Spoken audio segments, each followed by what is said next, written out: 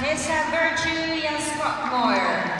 Heillä on pitkä historia. Vuonna 1997 aloittivat yhteisen uransa ja valtava määrä mitaleja. He ovat olleet kaksi kautta poissa jäiltä ja nyt jälleen maailmanmestaruusjäillä mukana. This Canadian couple have been skating together for a long time, since 1997. They have a huge medal tally, two Olympic medals, uh, champions in 2010 in Vancouver, and silver medal from Sochi, and several World Championship medals.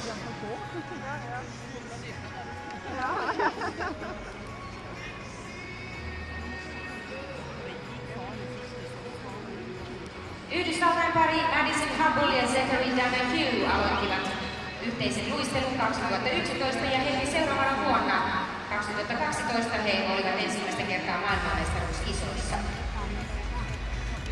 This is the third couple from US in this competition. They debuted in the World Championships already in uh, 2012, one year later than they teamed up. They are both born in early 1991.